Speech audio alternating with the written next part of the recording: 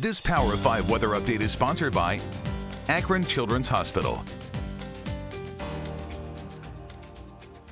Hi, I'm Mark J. Weather, Instagram, Twitter, Snapchat, and TikTok. Here we go. Another front arrives tonight. It's a cold front. It'll bring some showers. Behind it, it brings a shot of cooler air again. Our highs Tuesday and Wednesday only in the 40s.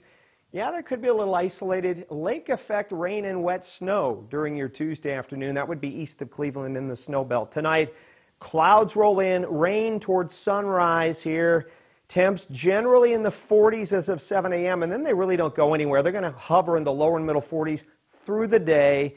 A little more sunshine in the afternoon than in the morning, during the morning hours. So we'll go 43, hovering. Early showers. Wednesday, isolated showers, maybe a little wet snow mixing in with any raindrop during the morning, 46. A little warmer Thursday, Friday, and then Saturday we're at 60 with some scattered rain showers. Have a great night. Sponsored by Akron Children's Hospital.